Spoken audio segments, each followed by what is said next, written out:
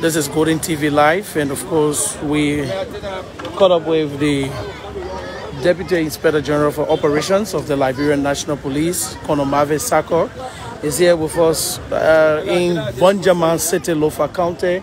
Remember, uh, media practitioners uh, about this time visiting National Elections Commission, tally centers, and other precincts to uh, get total numbers of uh, votes obtained and provisional results coming up. Security-wise, how's the situation like in the county uh, since the pre-electoral process? Now we're running the post. Uh, there have been mixed views amongst the citizenry in the county, but the media is here. A team of Liberian journalists. Konosako, welcome to the media. Yeah, over gentlemen. Thank you for having me. It's good to have you. I see you in Voinjama. Yeah, sure. Let's get an update about the security deployment and status of Lofa County. Okay, first thing I want to say thank you to the peace-loving people of Lofa County that have uh, coordinated and uh, collaborated with the Liberian National Police and other members of the joint security in making sure we maintain uh, peace within the county. And also to the fourth estate as well. You gotta help us in so many ways in our information to the public, especially about non-violent electoral uh, processes. So we want to say thank you to the citizen, to the joint security and that of the fourth estate. What have you gathered from your men so far? So far, uh, I have been here for uh, almost 72 hours. Uh, we have a minor situation that was contained by the joint security. But so far, the, the, the country has been very peaceful, very peaceful. Any arrest has been made so far? Well, uh, we, we made several arrests, but it was a minor situation that we handled. Okay? Where are those people? to Raise uh, any kind of, uh, you know, I mean, serious uh, issue as related to the security situation. Where are those who were Those people arrested? are currently at the police, Lebanon Police uh, headquarters here in uh, Vanderman. Those are just situations where we, people are interested that we have to actually ask a question. But all in that, it's been very minor. Very minor. So, uh, well, you say very minor. What are some of the things that people were arrested for? Well, the issue is that especially when people start to actually make uh, statements that honor a piece of, of, of, of this country, we honor obligation to, to, to contain that. Because we cannot actually promote any other of violence. Let me say something. You see, the Lofa County by-election is very significant. Reason being is that we're using this as well as a pilot program for 2023. So people are complaining that our security, security presence is very heavy in the county. It's important. Why you did huge deployment?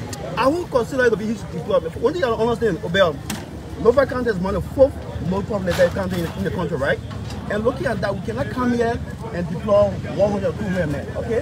When something goes wrong, right, when man peace in the country, what happens? People stay below the National Police. So we are under obligation to protect and property, and we did just that. To deploy to every major counties, it means the county or city, in making sure our people, people remain very peaceful.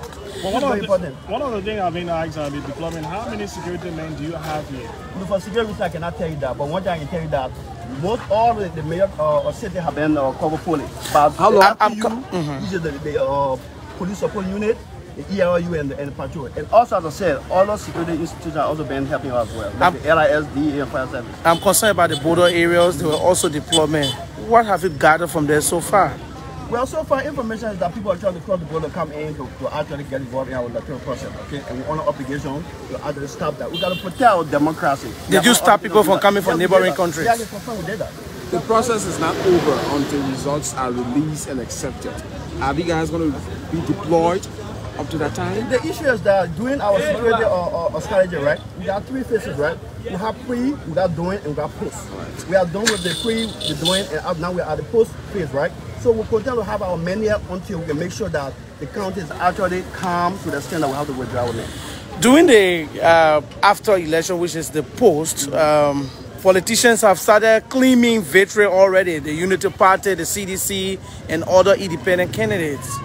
Someone could think this could provoke violence. Are you talking to candidates in any direction? Where we are, we are started engagement, we got something called community policing, right? Even post-election, we had to speak to the candidate say, look, until NEC you come up with a final, how do you call say, uh, results.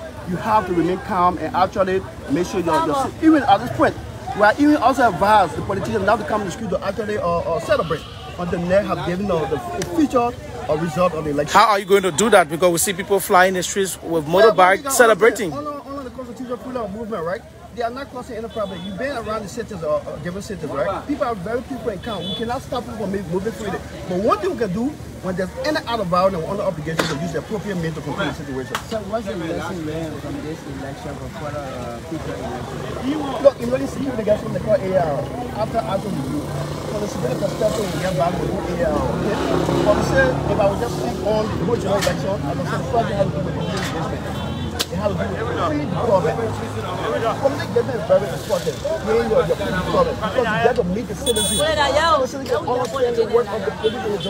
We are not here to intimidate our people, we are here to make sure that life and property are protected. And we have been doing that. Very. So we're going to use this now, the power program for 2023. And what we have done from the security perspective, it has worked very well, and we're going to do the same thing going forward. Good. Uh, other folks are fathering uh, the people in this county as the sorting process is going on. National Elections Commission is yet to announce official results. What have you to say to? Well, well, what I want to say is that um, so far the citizens of this county they have actually cooperated and collaborated with the Joint Security. We need to continue to work together. Labor is all that we have. In order to actually maintain the peace and stability of this country, every citizen within the country has shared responsibility in helping us. And they have done that. Even during the result of the election, we want to say this to them. You have remained pe- peaceful, you have to continue to remain peaceful. But one thing we're not allow any out of, of violence. Anyone that will get involved in any reckless out of violence will take appropriate action to protect the situation. But so far, as I said, field have been very peaceful. We must congratulate them for that. Let me ask you this question: Is about the upkeep of your men on the ground. How has it been? We've been getting allegations that patrol officers were not motivated, unlike the police support unit and that of the uh, ERU, the Emergency Response Unit. Look, look, let me say something. Everywhere around the world, right, even when I'm serving the US military, everything will never be 100%. The reason why you do something called after action review, AAR, right? You actually learn to get to know what you did right, what you did wrong, okay? People will have some issue, and at the after, after action review, will after that judge situation. The reason why I said this is the pilot program for what we want to do come 2023. So if any of our officers have any issue, I think the honor obligation to bring to the attention of administration, we will handle it. But so far, I want to say thank you to the guiding men and women of the Joint Security. They work very well. That shows that in the absence of UNMIL, we have the men to protect the peace of this country. Uh, just talking about the number of men that you have, this is a pilot project, like you said, for you as the head of operations. And uh, you talking about the case, uh, you deploy more men. Uh, are you are able to contain uh, the number of uh, registered voters in like you um, 2023 from looking at what you just said about being this may be used as a case study for you? Where, where we're going to start first, we're going to start recruitment process very soon. The secondly, as I said, it is not just the It's a coordinated effort for all of them of the security. So now we have fire service, we have LIS, we have DEA.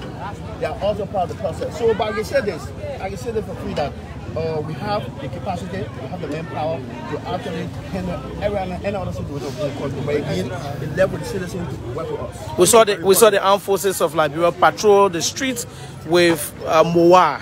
Uh, why is it is it also part of the joint security effort? Let me tell you what it is. What is it? APC, Armored Personnel Carrier, is transport officers. Here's the situation here.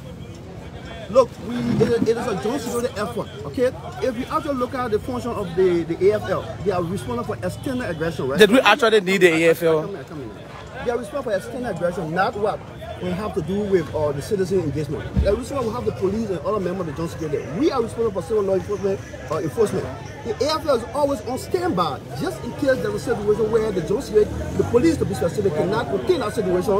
The president can be advised to actually give an instruction to uh, establish a state of emergency and deploy the AFL. So they have to be on standby. They are on standby for just in case we cannot maintain the peace to come in to, to help us. That's it. It will happen everywhere around the world. For example, the, the, the insurrection in, uh, in Washington, this is what happens. After the police failed to maintain peace, what happened? The national guard moving, right? It helped the budget of the effort. It happened everywhere around the world. You make- it's international best practice. Uh, you make mention of uh, recruitment of police officers. When is that going to be? And how many person are you are thinking about recruiting? Well, I to can the give the Liberia specific number and uh, specific date, but I can tell you very soon.